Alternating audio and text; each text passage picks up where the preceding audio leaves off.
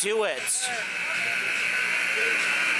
Got to hand it to the Braves. They just about played spoiler here tonight against the Canadians team, right in the thick of it in the playoff race in the CCHL.